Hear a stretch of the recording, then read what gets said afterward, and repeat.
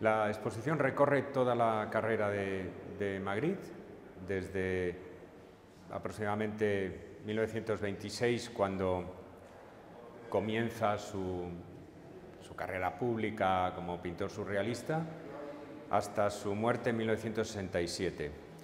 Y la hemos organizado en, en capítulos temáticos. Hay un primer capítulo que son autorretratos del artista, un segundo capítulo sobre las palabras en la pintura, porque él introdujo las palabras en la pintura, fue una de sus innovaciones. Hay un capítulo sobre sus juegos con la figura y el fondo, con las siluetas recortadas, que son muy conocidas, por ejemplo, la silueta del hombre con bombín recortado a través del cual se ve un cielo,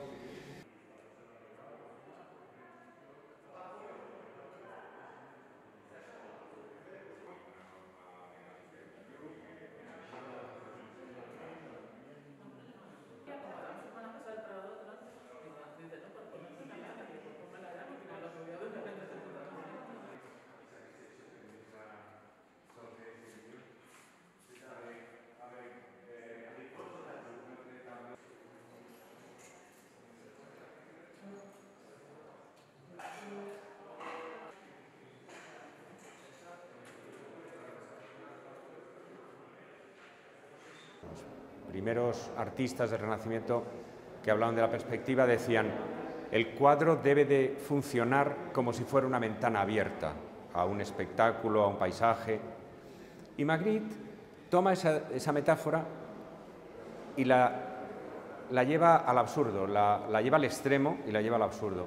Porque dice, bueno, si el cuadro es como una ventana, el cuadro más perfecto tendría que ser completamente transparente, o sea, completamente invisible y tendría, el cuadro más perfecto tendría que desaparecer. Y eso es lo que hace, ese es el juego que hace en muchos de los cuadros que tenemos a nuestro alrededor, eh, donde el, el, cuadro virtualmente se vuelve invisible.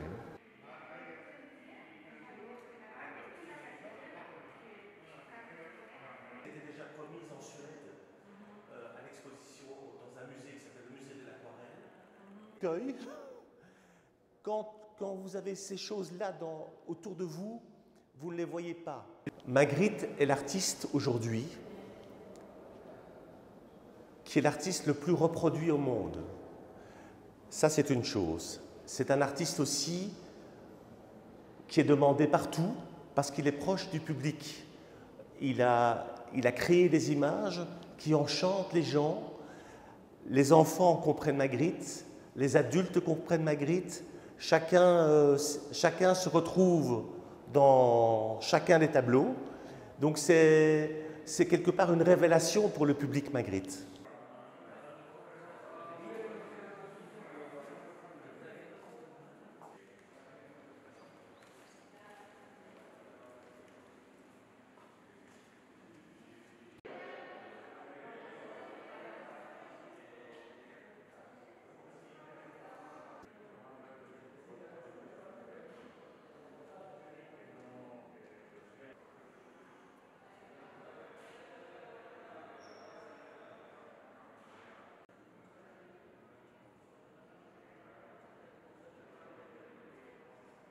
En España el surrealismo tuvo grandes seguidores, son conocidas las figuras de, Joan Miró, de, Dalí o de Oscar Domínguez, que fueron grandes pintores surrealistas internacionales y venían de España. Y Magritte estuvo relacionado con, con ellos. Magritte tiene una gran influencia de Joan Miró, en sus orígenes, sobre todo, las pinturas de palabras de Magritte se puede decir que vienen inspiradas por Joan Miró, por los cuadros poéticos de Joan Miró.